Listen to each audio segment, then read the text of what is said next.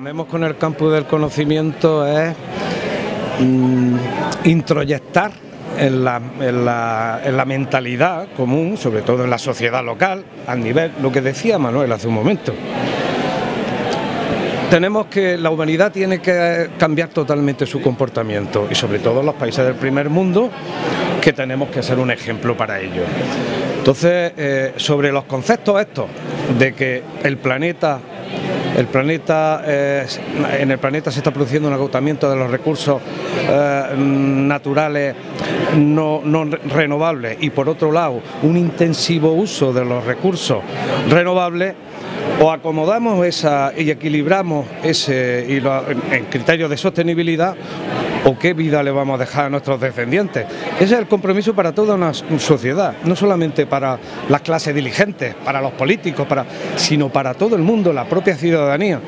Por eso él decía que tenemos que hacerlo a todos los niveles, a nivel local, a nivel ciudadano, a nivel individual y colectivo. Y eso es lo que pretendemos, aparte, lógicamente, de poner de manifiesto el ecosistema que estamos generando en, nuestro itinerario, nuestro circuito de, de fabricación empresarial. Para que, por decirlo de alguna manera, ¿no? ese ecosistema de espacios de coworking, de concentración de ideas y de desarrollo de proyectos empresariales donde facilitamos instalaciones, facilitamos espacios, facilitamos naves, asesoramiento, ayuda y todos esos menesteres que son necesarios para el inicio de actividad empresarial. Y siempre bajo el concepto y la filosofía de que, debe ser un, una filosofía común de la economía circular, ¿no? para abandonar eh, eh, a lo que eh, Manuel hacía referencia, la extracción, la transformación, fabricación, uso y tiro y desecho, no, reutilización de todo ello. ¿no? Y ejemplos hay muchísimos. Y bajo ese concepto y esa filosofía de, de, sostenibilidad en la que queremos crecer empresarialmente en Linares, porque como ustedes saben tenemos que regenerar un tejido industrial de base tecnológica, porque la tecnología tiene mucho que decir en todo esto, muchísimo. La tecnología es la, un instrumento básico y clave para, para ese mundo mejor si aceptamos todo el compromiso. Ya hemos oído lo de Obama, lo de Trump, los unos, los otros. Ustedes han visto que cuando salen unas imágenes de Pekín, que sale todo el mundo tapado, que aquello es como Londres, pero de niebla mala. Quiero decir que así no se va a poder vivir, esto es imposible, ¿no? Y esos son uno de los que más contaminan y de los que más emanaciones producen, la China, con ese eh, fulgor industrial que tiene. Y son 1.500 millones. Y son 1.500, o sea que lo que genera la criatura, ¿no? ¿eh? Y mira que son chinos. Pues luego los indios, que son otros tantos, pues irán por las mismas. Y eso es lo que hay que frenar. O lo hacemos o el futuro se ve bastante nuboso. La, iniciativa, bueno, pues de manera de la Junta de Andalucía la valoramos muy, muy, muy positiva. Pensamos que todas las iniciativas que vayan encaminadas a aprovechar todo el talento que hay en esta provincia y sobre todo en la comunidad, en la ciudad de Linares y su comarca, pues tenemos que aprovecharlas. Entonces nos parece una, una magnífica idea, una muy buena oportunidad para captar talentos, para captar proyectos innovadores que luego repercutan en el tejido industrial de, de Linares y su comarca. Bueno, son, son populistas todos, porque Obama, que era un gran defensor de la lucha contra el cambio climático y de los grandes protocolos internacionales, sin embargo, bajo su mandato, Estados Unidos ha quemado más carbón que nunca y ha emitido más CO2 que nunca y ha puesto en marcha más pozos de petróleo y más consumo de petróleo que nunca. Entonces, aquí hay una gran hipocresía mundial. Si de verdad la causa es que quemamos, lo cual es cierto, demasiado carbón y demasiado petróleo para obtener energía, en lugar de buscar energía por otras fuentes, no se puede prescindir de golpe del carbón y del petróleo, pero podemos reducir si eso es verdad, ¿por qué seguimos buscando pozos de petróleo? ¿Por qué seguimos consumiendo petróleo y carbón a manos llenas? ¿Por qué seguimos usando el coche para ir a la esquina a buscar a los niños o al supermercado? Es decir, en el fondo, las, las poblaciones del primer mundo y del segundo mundo, que están creciendo a una velocidad espantosa, no se dan cuenta que el gran problema es hasta qué punto estamos creciendo mal hasta qué punto nuestro desarrollo ya no es ya no es viable. Es un desarrollo que algunos llaman insostenible. Probablemente yo diría ambientalmente no viable.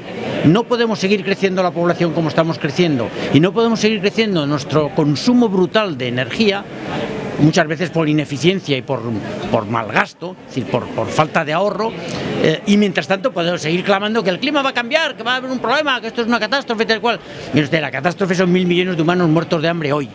La catástrofe son 20.000 bombas nucleares en marcha hoy que cualquier loco puede poner en marcha, cualquier terrorista, estos islámicos que, que hacen estas barbaridades. ¿no? Eh, En realidad la catástrofe es eh, mucho peor que el hecho de que dentro de 50 años el clima se caliente más o menos o de que ahora llueva un poco más o llueva un poco menos. Por cierto, por cierto, en España ahora mismo llueve lo mismo que hace un siglo o un poco más. En España la temperatura lleva 22 años sin subir nada. Aunque todo el mundo dice, hace más calor que nunca. Pues no, señor. Hace 20 años lo mismo que ahora, en promedio.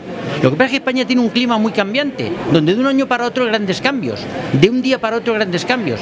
Acaba de salir ahora mismo una estadística muy interesante del tiempo en las fallas de Valencia. Lo de las fallas de Valencia es, es emblemático, yo vivo en Valencia, pero además que es una fiesta muy importante. Bueno, tiempo en las fallas de Valencia, días de lluvia y temperatura en los cuatro o cinco, los cinco días cruciales de las fallas. No podéis imaginaros el contraste brutal de un año para otro en los últimos 50 años. Pero de un año para otro puede haber que llueve un año los cuatro días sin parar y al año siguiente ni un solo día llueve. La temperatura media 15 y la temperatura media al año siguiente 18. Y al año siguiente 13 y medio. Y al año siguiente 19.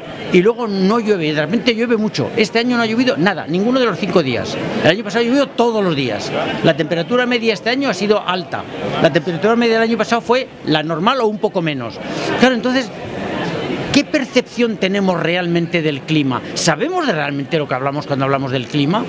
No es escepticismo, ojo, es desconocimiento. Entonces nos cuentan cosas, pero no entendemos muy bien. Creemos que porque ahora hace frío, hoy ahora mismo me ha nevado viniendo para acá, ahí en La Mancha, dice, hombre, en La Mancha, ya en primavera y tal.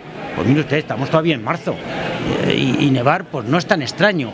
Ahora bien, hace unos días hacía tiempo que decían que casi era veraniego y era el cambio climático. Ahora como nieva también es el cambio climático. Y no será que es que el tiempo está loco, como decía mi abuela, de aquí de Santisteban, de aquí al lado. Hijo mío, el tiempo está loco y más loco los que os empeñáis en aprender de esas cosas. Cuando yo estudiaba de joven la meteorología me preguntaba, ¿y tú qué estudias, hijo mío? Y yo estudio ciencias físicas. ¿Y, y eso qué es? Pues eso de, ah, tú estudias para sabio. No, no, no, para sabio no. Yo estudio, pues mira, esto de las nubes y de la lluvia. Uh, el tiempo está loco, hijo mío. Y yo creo que sigue estando loco. A lo mejor un poco más. Hay un viejo refrán que dice que en abril aguas mil, o sea que y eso quiere decir que en abril suele llover y hasta mucho. que todas caben en un candil. Los refranes son bastante buenos, pero no siempre se cumplen. Son estadísticas muy a largo plazo de cosas que han ocurrido en promedio muy a largo plazo, pero claro, eso implica entonces que el clima no cambia, porque el largo plazo es el clima, el corto plazo es el tiempo. Entonces, si tú coges largo plazo, 50 años, y el refrán sigue valiendo, es que el clima no ha cambiado. Y la verdad es que los refranes, en conjunto, los buenos, no aquellos que dicen tonterías, los refranes que realmente son un reflejo de la sabiduría popular en algunos sitios concretos, eh, son bastante ilustrativos de cómo ha habido un cambio de clima en los últimos 100 años. Antes se decía por San Andrés la nieve en los pies, por todos los santos la nieve en los altos. Ahora, en realidad, eh, no se está cumpliendo. Aunque algún año sí, este año en particular sí, pero ha habido otros años en los que no se ha cumplido. ¿Por qué? Pues porque sí que sabemos que en promedio en el mundo entero las temperaturas en el último siglo han subido entre medio grado y tres cuartos de grado en un siglo. Pero eso es un promedio, no quiere decir que en todas partes haya subido igual, ni que además la subida haya sido continua, haber sido altibajos, bajones y tal. La climatología estudia eso, el muy largo plazo, pero nosotros no tenemos memoria del largo plazo.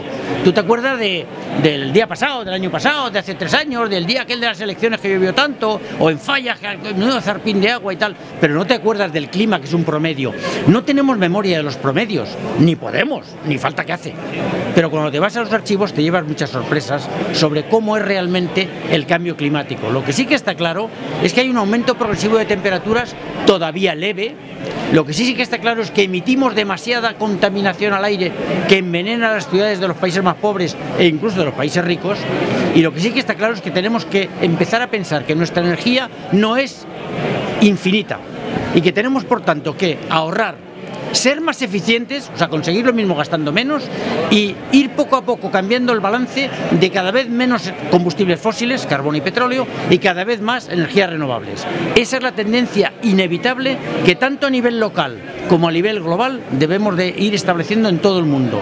Ni es escéptico ni es tampoco catastrofista. Es una realidad ante un mundo de 7.500 millones de personas que no paran de crecer. 100 millones de personas cada año más en el mundo. No en España, ¿eh? en España no crecemos, pero sí en los países del tercer mundo y en algunos del segundo mundo. Eso es una catástrofe que por alguna manera pues tendremos que empezar a aprender a gestionar.